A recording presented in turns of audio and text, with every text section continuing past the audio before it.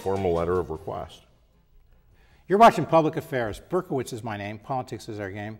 Look, this is the show, folks, that Barack Obama appeared on six times from 2000 to 2004. It gave us some credibility, but mainly that's because we have as our guest today Dan Shomon, the man who worked with Barack Obama as a consultant and campaign manager for nine years from 1996, excuse me, 1990, 1997 to 2006 and he will be working on the campaign to reelect, right? That's right. And I used to drive him up to the show when you were on Tower Road. So I was uh, here several times, and I know he enjoyed doing your show. And he's a good guy. We may agree with Barack, we may disagree with him, but I don't know anybody who really thinks he's not a good guy. Well, people that ask that question, the answer is I can't define somebody good or not, but Barack feels guilt. He has a conscience, and he feels guilt. So, okay, if he has a conscience and he feels guilt, Dan Shomon, what went wrong with the Barack Obama presidency? Because clearly something happened. He's been president here for three and a half years.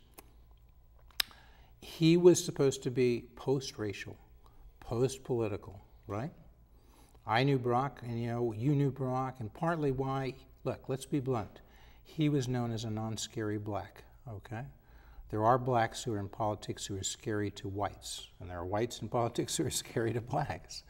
Barack Obama transcended race. That's what was said. He transcended politics.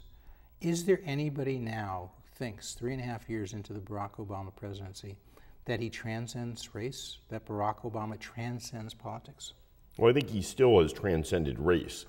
I think, if anything, you could argue that his that he has run a presidency that has been so non-racial oriented. So I think on that issue, he he gets kudos.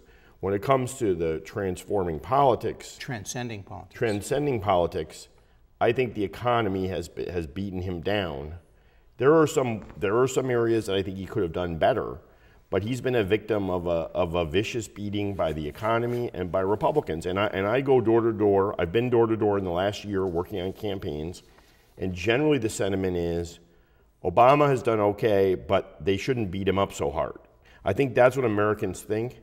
So the question is if the continuing Republican strategy over the next six months is to beat the heck out of Obama, and the same thing with, with, uh, with, President, with Romney, is that going to be effective? I don't think so.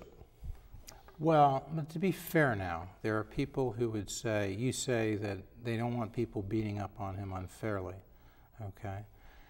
And when it comes to transcending politics, true, the economy has not gone well may have even been much more difficult than he anticipated. Mm-hmm. But he did make promises. He did say in February 2009, I think, correct me if I'm wrong, Dan, Barack Obama said, Look, I've got this $800 billion stimulus program. Right. I want you folks to pass it.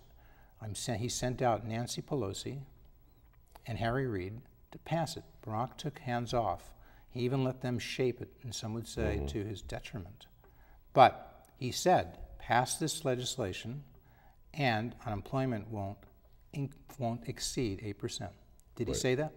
Well, let me tell you what happened with the stimulus, and I think there are some weaknesses to the stimulus. On the clean energy side, it is so, the federal government is Excuse so Excuse me just for a second, Dan. You get plenty of time to explain, and I sure. won't interrupt, but did he say that? Did he say in February of 2009, did this President one. Obama say, pass the stimulus and unemployment won't exceed 8%? As far as I remember, he said, pass the stimulus, it'll create this many jobs. I, I thought he said I don't remember employment the, won't exceed 8%. Are you saying you just don't know, or you don't think he said that? I, I don't remember. Okay. There's certain things okay. I do remember. Okay. Uh, that's not one Fair of them. Fair enough. But I will say that the stimulus package had some weaknesses, and let, let me tell you one of them. Uh, on the clean energy side, I think the environmentalists sold him that they could create these jobs. The problem is the federal government was so restrictive, you know, on the on the different projects that they couldn't get funding. So the clean energy stuff didn't work enough. There wasn't enough vertical. But They couldn't get funding for what? Uh, there was very little, very little of the clean energy funding was released because of the restrictive federal standards by the EPA.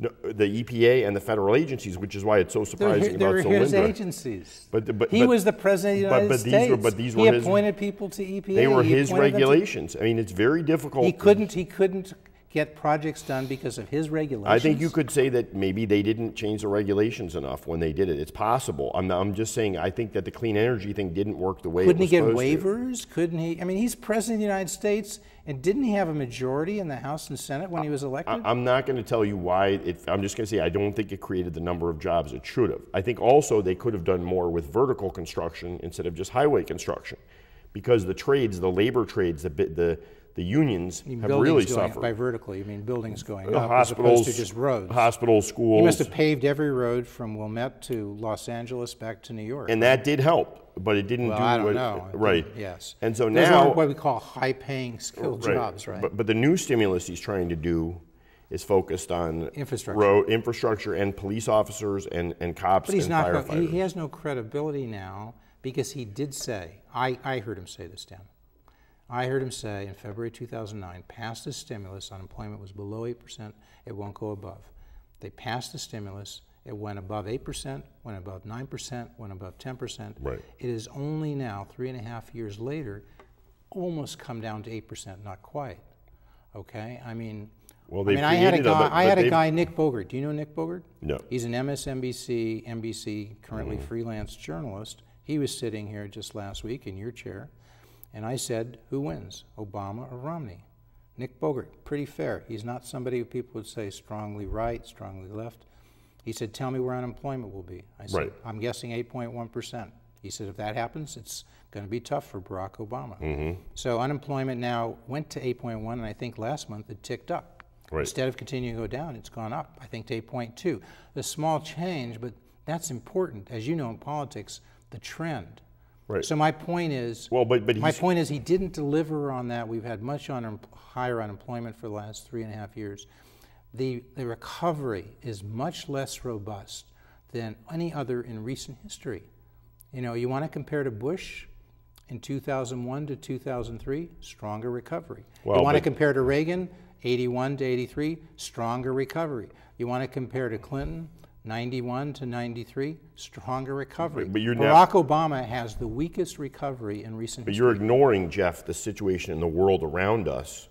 You know, part of the problem with America is we think we're an insular society. So now we're going to blame the world around us? Well, but the reason why Obama had that press conference on Friday was to talk about the issues in Europe. America is not is one of only many countries. It's far worse in Europe, and I've spent a lot of time in Europe. I do a lot of work in Eastern Dan, Europe, Dan, and let me tell you, is not the right strategy. I'm, I, you, I'm not saying that uh, Dan, it's, I'm not employing a strategy. you're, I'm just but you're, you, you know government. You've been in government, right, right? But you, you're calling You for know a, politics. You're calling for a robust recovery. The robust, it's different. It's different times now than in the Don't you past when we had robust don't you recoveries. think it's not the way to run for president? Forget whether it's right or wrong. Okay, I hate to say it, but put aside the truth for the moment. Let's just talk politics. Is it a good strategy to run for president and say, you know what, folks, things have been worse than I anticipated, No. and the world has a mess, and Right. so they've got problems, and that's why I didn't do what I said. But go ahead and elect me anyway, because somehow life will be different. People say, well, okay, if the world is the problem and you couldn't deal with it, you mm-hmm. couldn't cope, we're not going to make you president Mm-hmm. of the United States again. Am I right? Yeah, but- that's a wrong strategy. No, Why is he doing that? He needs to articulate. do I have to tell everybody how to do things here?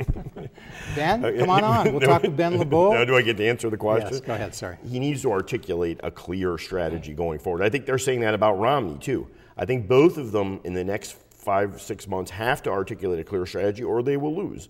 And I think that uh, him running against Bain Capital may be a, a part of it, or, or, or Romney running against Obama's record, but they have to articulate what's going to happen No, in the it next was the wrong years. strategy. Bill Clinton didn't agree with it.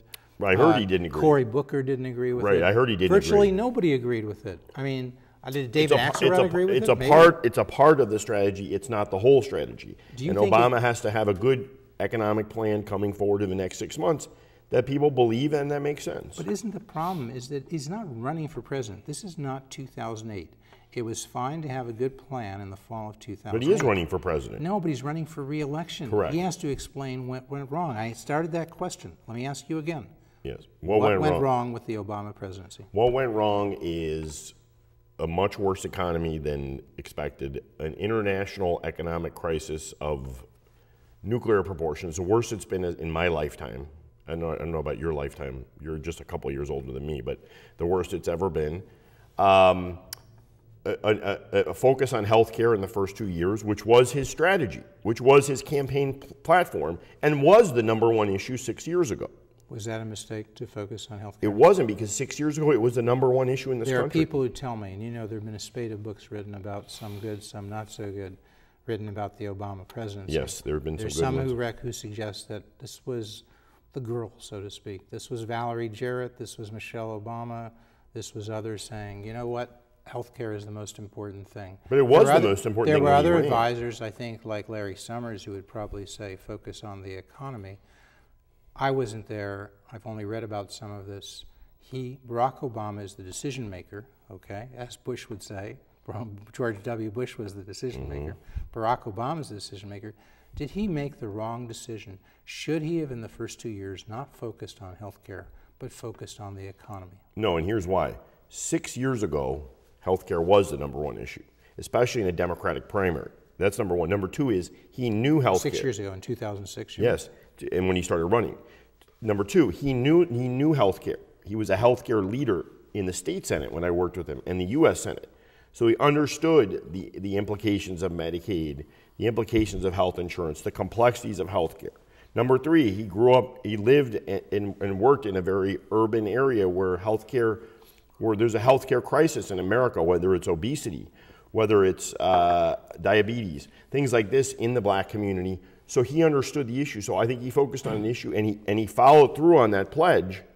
To blame him for that, little did he know that, that the economy would slip so quickly, but a lot of which happened during Bush. Is he a big enough guy to say possibly he made a mistake? You've given all the reasons why it was rational. Is he a big for- enough guy to You gave all the reasons, excuse me, why it was rational, and I think mm-hmm. you made a cogent, rational Right. argument for why it was rational for Barack Obama to make Right. the decision he made. But as it turned out, as you said, the economy was in worse shape than he anticipated. Right. The, the hill to climb was higher than he anticipated. Did he make a mistake in the sense that if he had focused on the economy, he might have realized earlier the hurdles he was facing? And number two, should he have stayed more involved? What's the By point? out, he outsourced, everybody says this, he outsourced the stimulus to Harry Reid and to Nancy Pelosi. They did a lot of their social priorities, their constituent spending, their patronage, not so much stimulus, a lot of payback for their friends. If Obama had said, we're That's your opinion. we- well, that not just my opinion. A Well, lot of I people mean- say this, and and and the point is, I- look, I know Barack Obama. In a way, it's not blaming Barack. Maybe maybe the president should outsource things like that. Maybe he has to delegate. I'm not saying that's wrong. But why are you so dwelling on whether he made a mistake or not? I mean, Because why is- why because this because so- maybe I'm just because I think Are you saying it's a mistake in judgment? Yeah, I'm saying maybe maybe the way to do it. I'm not telling you how to do your business. Again, you do government, you do politics, you travel. You're the one who traveled 5,000 miles with Barack from 1997 Right. to 2006. I don't know anybody else who did that. You know Barack, but I thought I know him. You know him much better than I do. Okay, I probably agree. better than anybody else. Okay, Right. so knowing that, maybe you would be the person to talk with him and say, you know what, the American public, they believe in a second chance, a 2nd Mm-hmm. act. If you go to them and you say, I made a mistake. Yes, the world is a problem. Yes, Europe is a problem. Yes, Spain is a problem and all those. But I made a mistake. I should have focused on the economy. You've got my attention now. I'm going. Here's what we're I going think to do. he's done that. I haven't heard him he say. said- I haven't heard him say. He said, "I'm focused on the economy." now." I haven't well, heard him say. but I don't see the point in doing that, Jeff. Well, you know, they, then you they, just they jump ask on him Bush, they, say- they always ask Bush when he was doesn't work. president, do you ever say you made a mistake? And he never would. Because you know why? Because the, the, the America doesn't reward people for being honest when it comes to the media. You have to say Maybe they do. Maybe Well, you're he- wrong on he- that. Dan. he in I, I reward people for being honest. But honest. he, in essence, did say that he he probably should have done it quicker, focused on the economy quicker. He's made that point. I think he said that many a time, and That's I'll find you the the same quotes. as saying I made a mistake. So the- why not just but why say are you dwelling on the mistake aspect Because because it's a way of we're it's a trying to way look of forward? Yeah, because it's a way of saying here's what I did wrong and here's what I'm going to do But in he's the future. but but, And but Jeff, you're gonna do in missing some points. You're missing points about the auto industry. Uh, he's done a great job on the auto industry. A lot of Has he? private sector Has he? jobs have you been know that's created. what they call crony capitalism. Well, I mean, you, You know, know about crony capitalism. right? GM, Ford, Chrysler, how can you say he has done a good job on the auto Because industry? there are people who say They're one of they- the few they went into that- bankruptcy, but it was a structured bankruptcy, Right. And a lot of Barack Obama's friends in labor were rewarded in the management of GM. Sure. And people say that's crony capitalism. He should have let them go into bankruptcy, let them come That's out. what Mitt Romney wanted, right? No, not let them go and like goodbye. We hope you work it out. Go through bankruptcy. Don't restructure to help your friends, the unions. Say, Barack Obama, I want you folks going into bankruptcy. I want you coming out. I want you. I believe in you. I think you can become a strong company. But I'm going to take hands off here because I don't want to get people saying I'm doing this for my friends.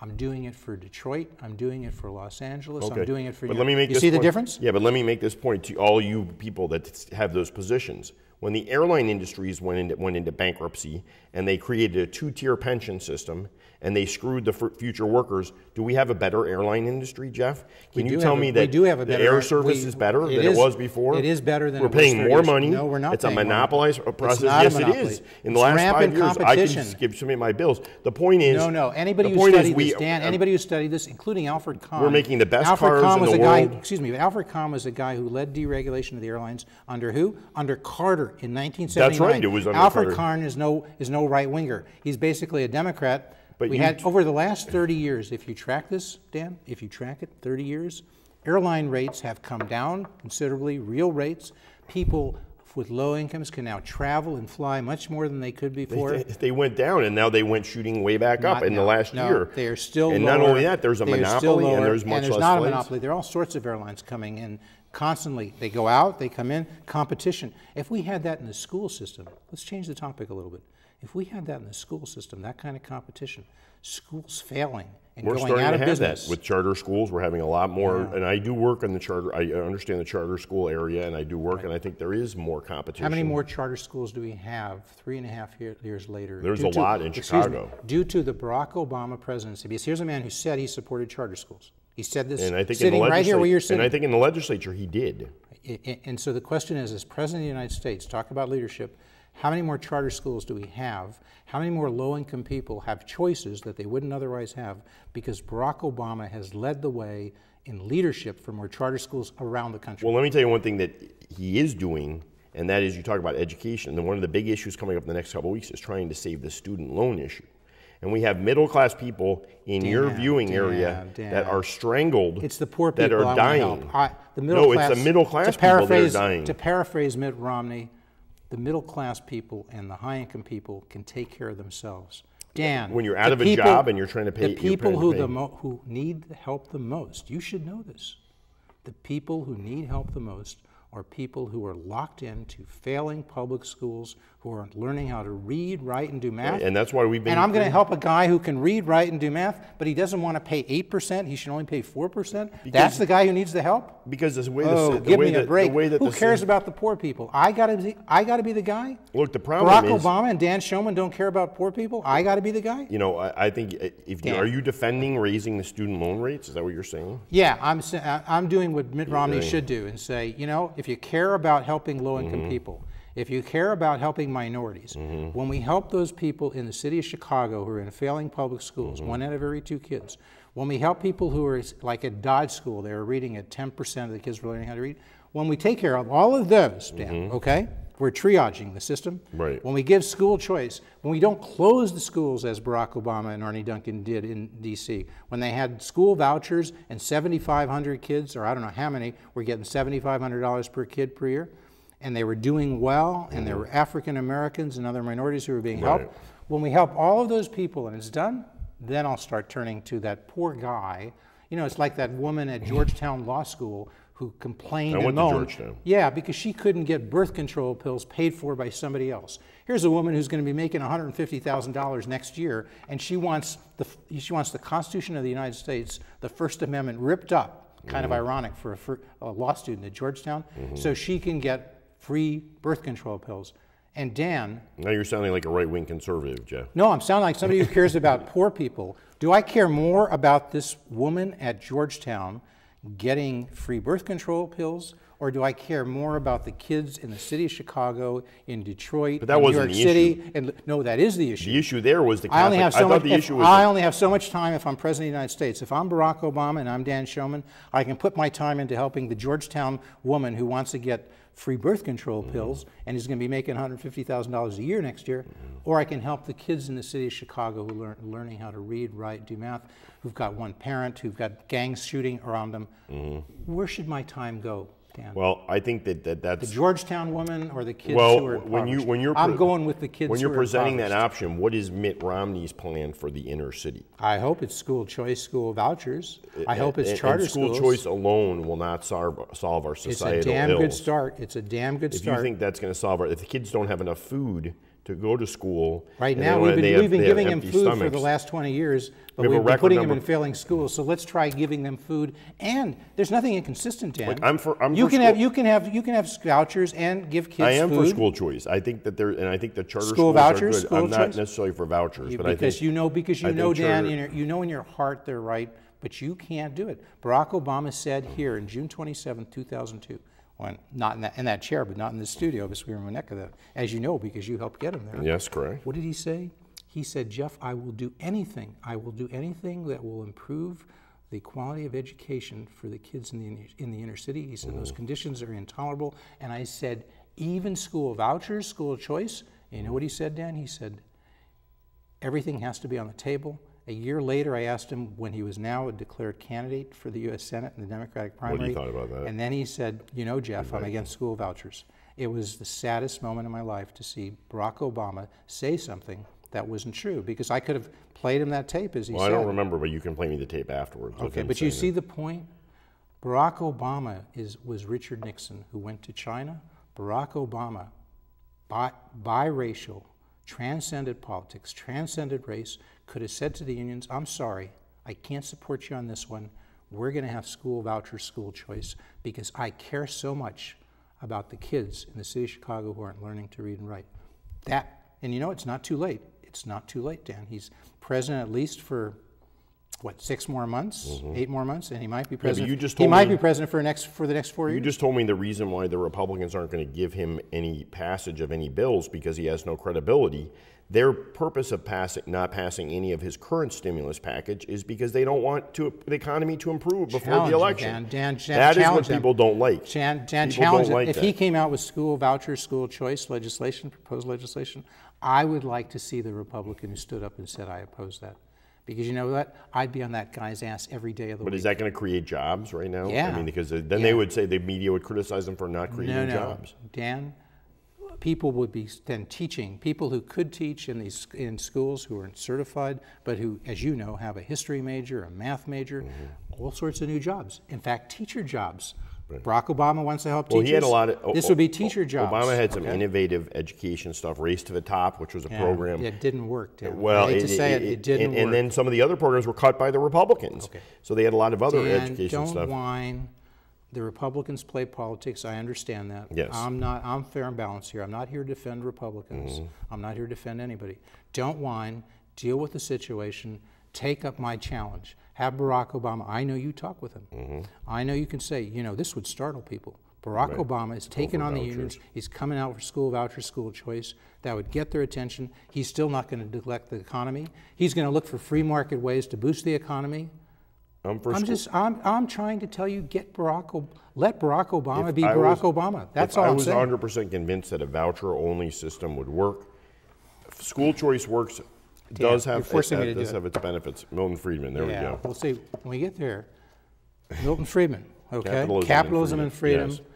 This man proposed vouchers, I think, in 1952, maybe 1962, Mm-hmm. 50 to 60 years ago. They work. They worked in D.C. They worked in Cleveland. Mm-hmm. They work in Florida. They work in Milwaukee. You want to read this? They work Dan? in Milwaukee. You want to work? Yes, they The do. vouchers, the public Yes. education It's still going. They're Are we still going to they're talk? Are we going to talk about the Wisconsin you, have you read that book?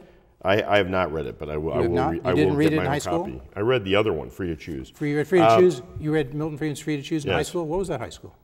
Uh, it's called Jesuit College Prep in It Dallas, was a good Texas. school. It's a good school. It was, it was Send good. them money, everybody. Wait, You're but since you brought up Jesuits. M- Where's that? Milwaukee, What's the name why don't we school? talk? Why don't we talk about Wisconsin? Okay. If the voucher system. Wait a second, but you're, you took the book. You're going to read it, right? If you want me to take it, I will. You'll but I read can it? buy it on my own copy Okay. if you want. You'll do it and you'll give us a book report? Uh, Did you know that Milton Friedman suggested and proposed and sort of invented school vouchers in 1962? Did you know that? that's fine. Let's talk about Milwaukee, though. No, but did you know that he did that? Yes. Okay. And you're going to think about it. You'll give it a fair shot. I will- Because you you are somebody I respect. I will read the because book. Because you give ideas a fair shot. If you shot. want me to read the book, I will read the okay. book. Okay. But let me talk about vouchers in Milwaukee. Sure. This this relates to Wisconsin. One of the reasons why I'm We're all, be- we only got about 10 minutes left, so we can do it. It's but your I'm it's your gonna be- nickel. I'm going to be critical of the Republican or the Democratic candidate in the recall election. The mayor of Milwaukee, Tom Barrett, did not do a good job of taking care of his city and the African American community. 30% unemployment among blacks, uh, loss of Where, factory jobs. Yes. And so, so, he was not a good candidate for the governor point is the because he was voucher not a good system. mayor of Milwaukee. The voucher system is not working in Milwaukee. The public schools are terrible. Oh, no, the no, black no, population. No, the voucher they're system not is working prepar- They're not preparing black the voucher students. system, no. They're not preparing What evidence do you have that the voucher system is not working? Thirty percent black unemployment. No, no, Jeff. that you can't blame that on vouchers. Well, then, The but if vou- you're saying this is gonna create an no, no, economic- it's, it's a very small. It's a very small, and they're cutting back. The Democrats and the teachers unions are cutting back on the program. Correct. But to the the, point extent the have a- program exists, to the extent it's allowed to compete, it is working. It's gotten worse and worse in Milwaukee. The this the Milwaukee economic has, situation. but not the vouchers have gotten better and better. But my The point is, it's not- it's not kids are solving learning how to- societal ills. It can't. If you if you because you only have what five or ten percent of the kids. Look, Dan, I'm criticizing a Democrat here. You wanted me to give. I'm trying yeah, to be but, fair. but criticize the Democrat for not expanding the school voucher program. If you want to criticize the, the Democrat for doing that, don't blame a program that hits 10% of the kids and say it didn't cure everything for the 90 other percent that it doesn't hit. You well, see I'm the just point? okay. You wanted to move on. All right, we do, we do have to move on. Go ahead. We're going to continue to speak as the credits roll, but I very much want to thank our guest, Dan Shomon. Dan, so much, thank you so much for coming I'm, here. I'm, I was glad to be here. Thank We you. didn't have enough Are we time. done? Nope, we still got a few more minutes left, okay, so let's just keep going. Let's just hit foreign issues here. Do they matter? Does Iraq, Afghanistan, now? Syria, does it matter in the election? Probably. I don't think so right now. It's all, it's all, it's the economy It should matter, but I think It's the it- economy stupid. pretty much. Barack Obama is going to win I think this. foreign issues matter as it affects the economy. Barack Obama will win this or lose this depending on whether he can persuade people. He kept, as he's saying, things from getting worse than they would have been if he didn't have his stimulus program, his bailout program, and if he can persuade people, he's got some insights to the next four years as to how to turn this economy around. If he can persuade people, he can do a better job than Mitt Romney. Well, they affect the The economy. re- this is a referendum on Barack Obama, right? right, but they affect the economy. Referendum on Barack Obama. Do you is, agree with but that? yes. David Axelrod would it- agree with me on that, right? I think it's a You referendum know David. on Barack would Obama. Would you agree with me on that? But I think they're going to try to run. I think the, the referendum on Mitt Romney is applicable and is a factor. It's not just a referendum on Obama. It's also a referendum on Romney. You can't turn it around. It is a refer. If people If think, can't- if people think for Barack, his if- record- if, Barack's not doing well, then the next question they ask: Can Romney do better? But the first Right. question, the threshold question, is Barack doing well? Because if you can get them to answer yes, Okay. they never think about Mitt. Correct. If he You- if, you if, if the economy was booming and he had a yes, then that wouldn't be the So issue. they so they It say is a no, referendum on Obama. and he's losing that. Now they say, can Mitt do better? That's your opinion. If the answer is it's if the answer is he's not doing he's not doing perfectly, then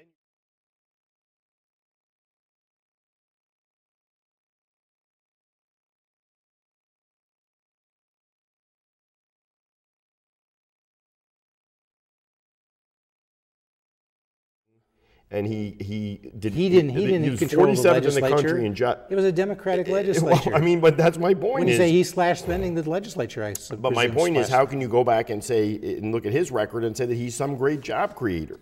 He created wealth for the partners of Bain Capital. No, no. he doesn't have a now record you're of job conflating what he was doing in the private sector with what he was doing as governor. Well, and and in the private sector, And the governor, he did a terrible in job the of private creating sector, jobs. would you tell Barack this? There is no job called job creator.